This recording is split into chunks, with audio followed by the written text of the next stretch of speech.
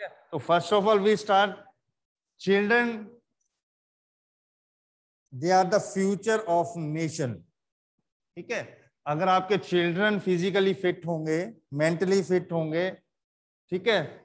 तो ही आपकी वो कंट्री है, उसकी डेवलपमेंट अच्छी होगी। ठीक है? अगर आपका यूथ है, आपका चिल्ड्रन है, वो फिट है फाइन है। ठीक है? तो उससे एक आपको नेशंस को भी क्या होता है? अगर बच्चे ही आपके वीक हैं, आपका आधा टाइम तो क्या होगा? हॉस्पिटल मेडिकल लाइन में चल जाएगा। बच्चे अगर आपके अच्छे हैं, तंदुरुस्त हैं, ठीक है? स्पोर्ट्स एक्टिविटी में पार्टिसिपेट करते हैं तो क्या होगा? Less chances of disease are there इसीलिए बहुत से लोग कहते हैं कि instead of making the this hospitals ground ज़्यादा बनाने चाहिए गवर्नमेंट को। इन ईच एंड एवरी आपका छोटे छोटे जो टाउन है, आपके छोटे छोटे जो विलेजेस हैं, वहाँ पे अगर स्पोर्ट्स का इंफ्रास्ट्रक्चर अगर अच्छा होगा बेटा तो क्या होगा? बच्चे इन्वॉल्व होंगे सुबह शाम स्पोर्ट्स एक्टिविटीज़ में। उससे क्या होगा? जब वो इन्वॉल्व होंगे तो फिजिकली स्ट्रांग होंगे फिट होंगे। नेचुरली क्या होगा आपका? इंजरीज डिज़ीज़ ये कम होगी बच्चों में। वो जब बच्चा फिट होगा तो आपके इट विल बी एक asset for your nation also तो स्पोर्ट्स आर मेन इंपॉर्टेंट इसका मेजर रोल होता है किसी भी नेशन को बिल्डअप करने के लिए। अगर आपके बच्चे स्ट्रॉन्ग हैं फिजिकली मेंटली ठीक है तो नेचुरली आपका एक एसेट हो गया आपकी कंट्री के लिए। और वर्ल्ड में जितनी भी आपकी टॉप मोस्ट डेवलपिंग कंट्रीज़ हैं, वो आप देख लो, वो टोटली डोमिनेटेड इन स्पोर्ट्स उनको पता है स्पोर्ट्स की क्या वैल्यूज़ है, ठीक है? बच्चे को स्पोर्ट्स कराना बहुत ज़रूरी है। As earlier I told you gymnastic and swimming ये आपका basics mother of all games होती हैं। तो नेचुरली अगर आप स्पोर्ट्स करते हो तो इसमें आप क्या डेवलप करते हो?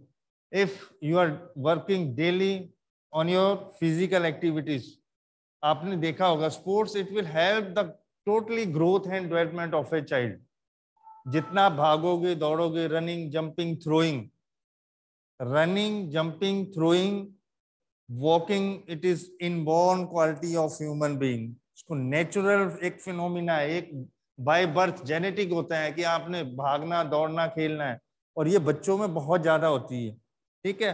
तो सेम आपका ये टॉपिक में children and women in sports that is related to children and women women same women का क्या है? अभी भी इंडिया में there is a very less participation of women in sports otherwise as compare to other countries हमारे अभी भी लोग ये प्रेफर करते हैं कि गर्ल्स को अपने खेलने नहीं भेजना है, ठीक है? गर्ल्स को अपने घर पे रखो, उनको काम कराओ, उनको किचन में रखो, घर का सारा काम करे दैट्स ऑल और ये क्यों है? This is lack of education ठीक है? अभी भी हमारे कंट्री में बहुत से लोग अनएजुकेटेड हैं और उनके माइंड में एक माइंडसेट बना है कि आपने क्या है? लड़कों के लिए ठीक है, जो बॉयज़ हैं, वो खेलेंगे, जाएँगे बाहर but it is not for a girls और ये क्यों भी है? इसका भी रीजन है that we will discuss later on तो फ़र्स्ट ऑफ़ ऑल क्या है? स्पोर्ट्स का आपकी लाइफ में बहुत ज़्यादा रोल होता है। प्रॉपर ग्रोथ एंड डेवलपमेंट किसी की, बच्चे की अगर होगी, अगर वो भागेगा, खेलेगा, तभी होगी। अदरवाइज़ अगर आप देखेंगे कोई बच्चा छोटा अगर बैठा है आराम से, घर पे भी देखेंगे, अगर वो बोल नहीं रहा है, भाग नहीं रहा है इट मीन्स कि ही और she has a some problem because children they have a surplus energy उसमें बहुत ज़्यादा एनर्जीज होती हैं। वो कभी भी आराम से नहीं बैठ सकते हैं। बच्चा अगर आराम से बैठा होगा it means you just damn कि उसको कोई ना कोई प्रॉब्लम है। अब इसमें आपका टॉपिक आ जाता है बेटा। चिल्ड्रंस का हो गया आपका। That is related to sports women का हो गया but nowadays trend is changing अब इंडिया से बहुत सी गर्ल्स पार्टिसिपेट कर रही इंटरनेशनल लेवल पे and they are getting the prize in a world championship Asian commonwealth ठीक है? वर्ल्ड ओलंपिक में आपके मेडल लेके आ रही हैं गर्ल्स तो now trend is little bit changing लोगों को पता है कि अब एज ए प्रोफेशन आप क्या कर सकते हो इसमें? बहुत ज़्यादा आपको name fame as a professional you can take this sports next आपका बेटा आ जाता है मोटर डेवलपमेंट ठीक है? मोटर डेवलपमेंट क्या है? मोटर डेवलपमेंट सिंपल है। जो भी आपका ह्यूमन बॉडी है, ठीक है? उसमें आपका जो मेन इन्वॉल्वमेंट होती है, आपने वॉकिंग करनी है रनिंग करनी है, ठीक है? थ्रोइंग करनी है कैचिंग करनी है। ये सारी एक्टिविटी मोटर डेवलपमेंट से रिलेटेड होती है, जो आपका पूरा सिस्टम को हमने, किसी भी बच्चे का हमने मोटर डेवलपमेंट मीन्स की उसका ऑल राउंड डेवलपमेंट करना है। दैट इज़ उसमें भी फर्दर टू टाइप्स आपके आ जाते हैं। एक ग्रॉस मोटर मोटर डेवलपमेंट एक फाइन मोटर डेवलपमेंट ये टू टाइप्स की होती है। ठीक है? तो मेन क्या है? क्या motor development refers to the development of a child that is physical mental emotional skill and ability to move around the various surroundings ठीक है, जो आपके डेवलपमेंट हो रही है। And it required for daily life जैसे आपने डेली लाइफ में आप वॉक भी करते हो रनिंग करते हो, ठीक है? कैच कर रहे हो थ्रोइंग कर रहे हो, ये आपका डेली रूटीन का लाइफ है। हर आदमी वॉक करता है, ठीक है? रनिंग करता है, ये सारी चीज़ें आपकी क्लाइंबिंग है थ्रोइंग है स्कीपिंग है, इसके लिए आपके जो मेन मसल इन्वॉल्व होते हैं, उसको हम ग्रॉस मोटर डेवलपमेंट कहते हैं, ठीक है? टू टाइप्स की डेवलपमेंट होती है motor development one is gross motor development and another is fine gross means जो आपके बॉडी के मेन मसल्स जहाँ पे इन्वॉल्व होते हैं, जैसे वॉकिंग कर रहे हो आप रनिंग कर रहे हो जंपिंग कर रहे हो थ्रोइंग कर रहे हो, वहाँ पे आपके मेन मसल्स इन्वॉल्व होते हैं। ठीक है बॉडी के। और नेक्स्ट आपका आता है फाइन फाइन मीन्स की जो छोटे छोटी एक्टिविटीज़ आप कर रहे हो, कोई पेंटिंग कर रहे हो, ठीक है, आप ईटिंग कर रहे हो, जो आपका इन्वॉल्व हो रहा है, जहाँ पे फाइन छोटे छोटे आपके मसल इन्वॉल्व होते हैं, जैसे आप कटिंग कर रहे हो किसी चीज़ की स्पीकिंग करते हैं पेंटिंग करते हैं, कोई बच्चा टॉय से खेल रहा है तो वहाँ पे छोटे मसल इन्वॉल्व होते हैं। That is a fine motor qualities fine motor fine development, ठीक है? दो टाइप की होगी एक ग्रॉस, एक होगी आपकी फाइन। फर्दर क्या होता है बेटा? ये फर्दर स्टेजेस स्टेजेस होती है चिल्ड्रन की, ठीक है? वो उसको, स्टेजेस को हम फाइव उसमें पार्ट में डिवाइड करते हैं। दैट इज़ इनफेंसी जिसको हम बोलते हैं इनबॉर्न बेबी ठीक है? इनफेंसी देन आपका आता है early childhood that is two to six years आपका जो पीरियड होता है, उसको हम अर्ली चाइल्डहुड कहते हैं। Then later childhood that is adolescence and adulthood ये डिफरेंट स्टेजेस होती हैं चाइल्ड्स की, जिसको हम काउंट करते हैं। और ये बेटा डिफरेंट बुक्स में आपको डिफरेंट स्टेजेस के डिफरेंट उन्होंने ईयर्स दिए होंगे। आपने उसमें कंफ्यूज नहीं होना है। हर बुक में किसी ने अपना अपना लिख के दिया है कि किसी ने first two zero to two year है then three to seven years है यू यू डोंट कंफ्यूज आपने सिर्फ़ आपको ये पता होना चाहिए कि what is infancy early childhood then childhood adulthood adolescence. This is the five main stages. After that, what are the different factors? कौन कौन से ऐसे फैक्टर्स हैं जो अफेक्ट करते हैं किसी भी बच्चे की मोटर डेवलपमेंट के लिए that is the main otherwise आप गूगल में देखोगे तो आपको ये डिफरेंट स्टेजेस का आपको डिफरेंट क्राइटेरिया होगा। ठीक है? तो आपने एक बुक लेके आपको एक कंपाइल करके उसमें आपको बता देंगे कि आपने किस किस स्टेजेस के क्या क्या आपने एजेस लेनी है। ठीक है? नेक्स्ट इसमें आपको आ जाता है what are the different factors अब फैक्टर्स में मेन क्या होता है? कौन कौन से फैक्टर इफ़ेक्ट करते हैं आपकी? मोटर स्किल्स के लिए।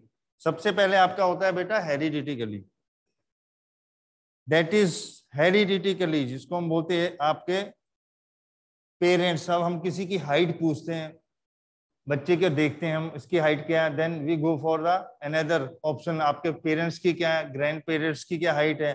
तो उससे हमको लगता है जेनेटिक हेरिडिटिकली ये होता है। अगर आप में फास्ट ट्विच फाइबर मसल है स्लो ट्विच फाइबर मसल्स हैं, ठीक है? जेनेटिक कहीं आपने देखा होगा किसी के घर पे ओबेसिटी ओवरवेट फैमिली में सारे ही होते हैं, ठीक है? कई बहुत लॉन्ग है, कईयों की हाइट बहुत छोटी है। ये एक जेनेटिक आपका चलता है तो हेरिडिटी और जेनेटिक्स मेन ये मोटर स्किल पे मोटर डेवलपमेंट पे अफेक्ट करता है आपका। ठीक है? कई आपने देखा होगा, आप स्पोर्ट्स पर्सन है। उनके घर पे अगर स्पोर्ट्स का आपका एटमोसफेयर है एनवायरनमेंट है तो नेचुरली उनका बच्चा वो मोटिवेट होएगा स्पोर्ट्स के लिए। आप देखा होगा कई फैमिली में, हर फैमिली में कोई ना कोई स्पोर्ट्स से रिलेटेड बच्चा है तो उनकी फैमिली में आगे ट्रेडिशन सा बन जाता है कि हाँ जी, कोई ना कोई बच्चा स्पोर्ट्स कर रहा है, कोई भी गेम में जा रहा है। तो दैट इज़ डिफरेंट एक हेरिडिटिकली आपको इफ़ेक्ट पड़ता है, वो फैक्टर मेन रोल उसका होता है। देन आपका एनवायरनमेंट हो गया, जैसे मैंने आपको कहा, अगर आपके फैमिली में कोई खेलता है, ठीक है, आपके कोई घर से नेशनल प्लेयर है, इंटरनेशनल प्लेयर है। नेचुरली तो घर में एटमोसफेयर क्या होगा? एनवायरमेंट कैसा होगा? वो always they are talking with that particular events activities whenever they go for any activities अगर वो कोई भी गेम खेलने जाते हैं घर में जो उनके पेरेंट्स हैं, या वो कोई कैंप लगाते हैं, घर पे बातचीत होती है स्पोर्ट्स की, ठीक है? तो वो बच्चा एक मोटिवेट होता है। आपका एटमोसफेयर एनवायरनमेंट ऐसा बन जाता है कि बच्चे को भी लगता है कि मैंने भी स्पोर्ट्स करनी है मैं भी आगे जाऊँगा मेरा भी टीवी पे आ रहा है नाम। अगर आपके घर से कोई खेल रहा है उनका टीवी पे बहुत आ रहा है उनकी कवरेज आ रही है न्यूज़पेपर में नेम आता है ठीक है? कब देखा ना आपने जब किसी बच्चों का आप, लोगों का भी अगर कोई नेम न्यूज़पेपर में आता है तो फटाफट उसकी फ़ोटो लेके उसको कटिंग लेके अपने पास रखते हैं। तो that is the main motivative एक मोटिवेशन बच्चों को मिलता है जब उसका भी कोई नाम आता है किसी चीज़ में। That is not regarding in sports academically ले लो, आपने कोई अचीवमेंट की है, कोई आपने रिकॉर्ड ब्रेक किया है तो that that will create a environment and that will help for motor development next आपका आ जाता है न्यूट्रिशन आपका डाइट आपका खाना पीना कैसा है? ठीक है? और इसका बहुत ज़्यादा रोल होता है। स्पोर्ट्स में डेली रूटीन में आपका लाइफ स्टाइल क्या है? आपका लाइफ, डेली लाइफ का स्टाइल क्या है? आपका पूरा दिन में आप क्या करते हो? ठीक है? कैसे, क्या उठते हो? कितना आप कैलोरीज बर्न करते हो? कितनी आपका इंटेक ऑफ़ फ़ूड है? कितनी आप एक्सरसाइजेस करते हो? ये सारी चीज़ें आपकी इसमें बैलेंस डाइट एंड न्यूट्रिशन में आ जाती आ जाती है। Then posture deformities that is the main reason अगर किसी को भी पोस्चर कोई डिफॉर्मिटीज होती हैं that will restrict that particular movements अगर कोई भी आपको डिफॉर्मिटीज किसी को होती हैं तो वो क्या होता है? वो उसकी जो रिस्ट्रिक्ट कर देती हैं मूवमेंट को दैट पर्टिकुलर पर्टिकुलर अगर किसी के आर्म्स में, किसी के लेग्स में तो वो फ्रीली वो चीज़ नहीं कर सकता जो एक नॉर्मल बच्चा कर सकता है। तो that is the main posture deformity then obesity overweight naturally जो ओवरवेट होगा, उसकी सारी एक्टिविटी स्लो हो जाएगी। ठीक है? अगर आप ओवरवेट है, अगर आपको कोई भी हम एक्टिविटी करा रहे हैं, कोई स्किल आप कर रहे हो तो नेचुरली वो उसकी जो मूवमेंट है स्लो होएगी। ड्यू टू ओवरवेट आप कोई भी जो हम बोलते हैं, अगर स्किल करते हैं, टेक्निक को एग्जीक्यूट करते हैं, वो आपकी बड़ी स्मूथ होनी चाहिए रिदमिकली होनी चाहिए एंड इकोनॉमिकली होनी चाहिए। And it should be look gracefully आप कभी किसी स्पोर्ट्स पर्सन को खेलते हुए देखते हैं, अगर आपका कोई फेवरेट होता है, ठीक है, जो अच्छे लेवल इंटरनेशनल लेवल पे, जो बहुत अच्छे लेवल पे आपके किसी भी स्पोर्ट्स के, कोई भी आपके स्पोर्ट्स पर्सनैलिटीज हैं, आप उनकी उनकी अगर स्किल देखे हुए तो they are very attractive graceful बहुत देखने में अच्छी लगती है। आपने क्रिकेट का एग्ज़ाम्पल ले लो। अगर कोई स्ट्रोक खेल रहा है, खेल रहा है, ठीक है? कोई ड्राइव कर रहा है तो जितने आपके टॉप क्लास के अच्छे प्लेयर्स हैं, वो देखने में बड़े अच्छे लगते हैं। उनकी जो execution of that skill they are very good they are very attractive graceful देखने में ही अच्छी लगती है, ठीक है?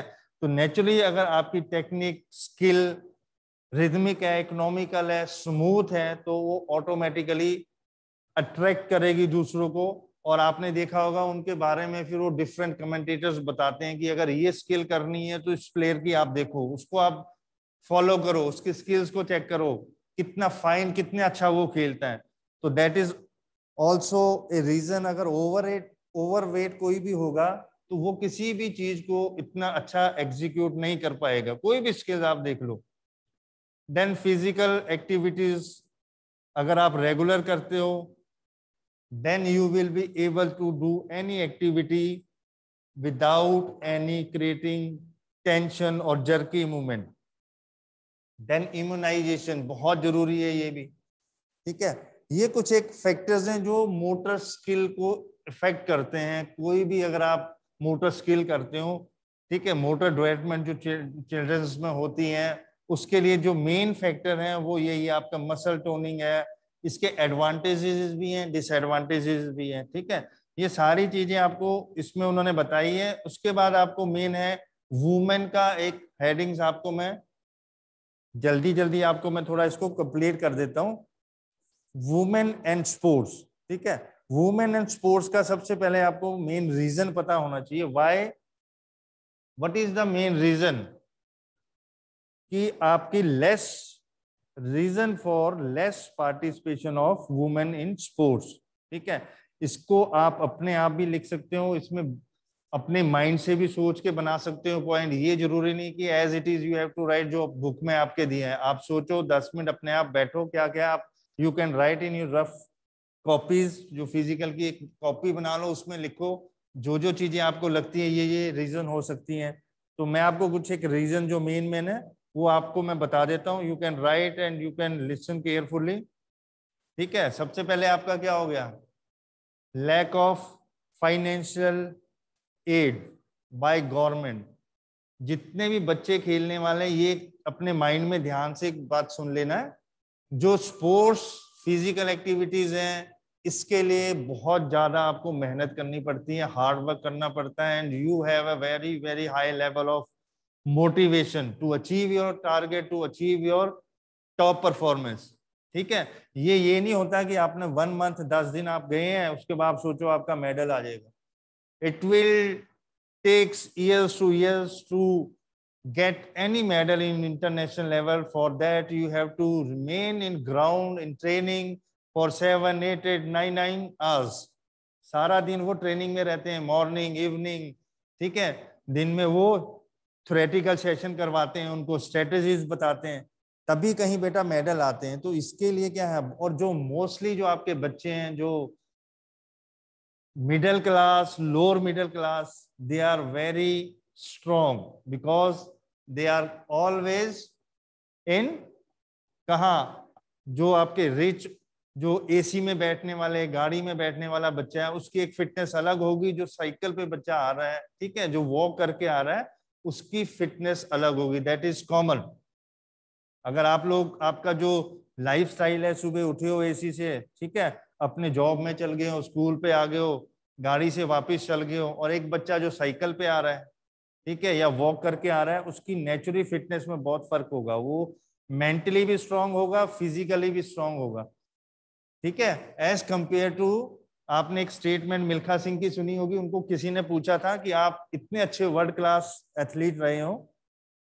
ठीक है वर्ल्ड में आपका नाम था, आपको उस टाइम कोई ट्रेनिंग नहीं थी nothing even no shoes shoes के बगैर वो पहले रनिंग करते थे। तो उनसे पूछा गया कि आपका लड़का आपने अपने बेटे को एथलेटिक्स में क्यों नहीं डाला? है ठीक है तो उनका आंसर क्या था? कहता है जो बच्चा सारा दिन जिसको फैसिलिटीज़ अच्छी मिलती हो, खाना, पीना, कार एसी वो एथलेटिक्स नहीं कर सकता है। उसके लिए तो बहुत रफ एंड टफ होना पड़ता है।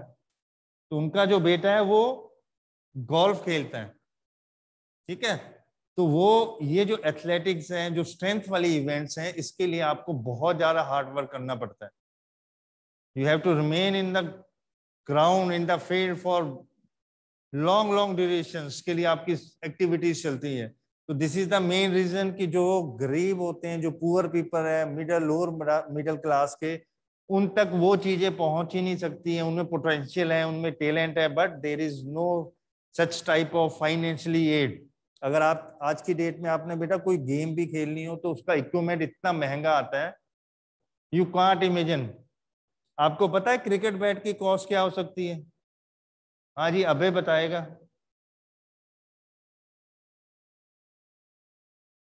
Table twenty thousand twenty thousand अच्छा टेबल टेनिस के बैट की बताओ तुम तुम खेलते रहे हो पहले?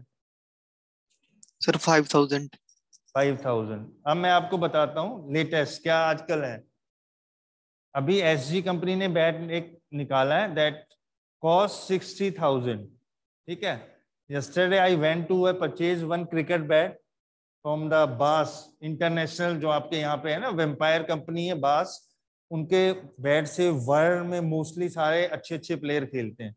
तो वहाँ पे एक बैट पड़ा था that cost near about thirty eight thousand can you imagine और आपका टेबल टेनिस का बैट बता रहे हो ना? तो टेबल टेनिस का जो आज आजकल नॉर्मल जो आपका बैट होता है, उसकी जो पलाई होती है, वो that is eight to twelve thousand जो नॉर्मल आजकल बच्चे खेल रहे हैं। एंड जो उसकी जो आपका पलाई के ऊपर रबर लगती है that cost four thousand five thousand तो one complete bat it is round about sixteen to twenty thousand for that particular player who are playing national level in junior तो आप ये सोच लो, अगर किसी बच्चे में टैलेंट है, अगर उसने कोई गेम खेलनी है तो उसको इक्विपमेंट खरीदना ही बड़ा मुश्किल है।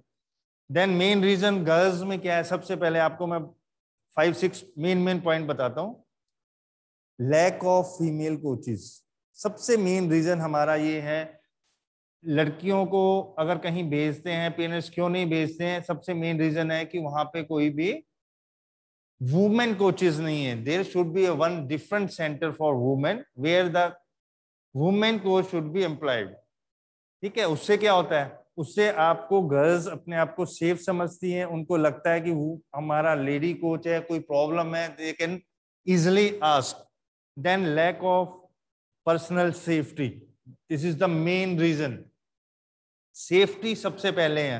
अगर बच्चों की सेफ्टी होगी है गर्ल्स की सेफ्टी होगी, उनको ग्राउंड तक आने जाने की फैसिलिटीज़ हो तो that will be more involvement in girls अगर आप उनको ये फैसिलिटी देते हो देन एजुकेशन हमारे यहाँ इंडिया में एजुकेशन की बहुत कमी है। बहुत लोग ऐसे हैं जिनके माइंड में ये बना है कि गर्ल्स को हमने बाहर भेजना नहीं है, ना उनको कोई खिलाना है, ना कहीं भेजना है। ठीक है? तो इसके लिए मेन रीजन आपका then it is a totally dominated by male जो आपका अभी भी यहाँ पे इंडिया में क्या है मेल डोमिनेटेड स्पोर्ट्स यहाँ पे फीमेल्स बहुत कम है फीमेल कोचेस कम है फीमेल एडमिनिस्ट्रेटर नहीं है। तो मोस्टली मेल होने के कारण सारी जगह पे मेल डोमिनेटेड है। तो that is one of the main reason that less participation of girls in sports ठीक है? देन उसके बाद आपका क्या है? इंटरेस्ट स्पॉन्सरशिप बहुत कम है। आप देखेंगे, अगर कोई मैच चल रहा है मेंस का तो उसकी, उसको टीवी वाले कवरेज बहुत करेंगे। ठीक है? और वही अगर वुमेन का कोई मैच चल रहा है नेशनल कोई फेडरेशन कप चल रहा है तो वहाँ पे आपको मीडिया बहुत कम मिलेगी। स्पेक्टेटर बहुत कम मिलेंगे, ठीक है? तो ये भी एक मेन रीजन है। जब आपको कोई हाईलाइट नहीं कर रहा है, आपको कोई मीडिया वाले नहीं, आपके टैलेंट को हाईलाइट कर रहे हैं, आपकी कवरेज नहीं आ रही है आपके मैचेस की, लोगों को पता नहीं है कि वुमेन का भी कोई मैच है, वो भी अच्छा खेल रही है। अभी आपने क्रिकेट में ही देखा है इंडिया के वर्ल्ड रिकॉर्ड बना के टॉप रैंकिंग पे गर्ल्स हैं। तो वो मतलब चीज़ें तभी लोगों को पता लगेगा जब मीडिया कवर करेगा उसको। तो इस चीज़ की बहुत कमी है। फिर देन हमारा जो सोसाइटी में है, बहुत नेगेटिव रोल है। रिगार्डिंग गर्ल्स वुमेन आपने एक वो मूवी देखी होगी है वो Haryana four girls four international players तो उनके पेरेंट्स जब उनको लेके जाते थे रेसलिंग के लिए तो लोग वहाँ पे हँसते थे कमेंट करते थे कि ये कहाँ लेके जा रहा है लड़कियों को और लड़कों के साथ खिलाते हैं। अब उनको देखो वर्ल्ड में सारे उनको जानते हैं। तो that is the main reason for less participation of womens in sports इसमें आप अपने पॉइंट भी सारे बना सकते हो। You can write with your own mind तो that is regarding all this आपकी बेटा फाइलें रेडी हैं सबकी?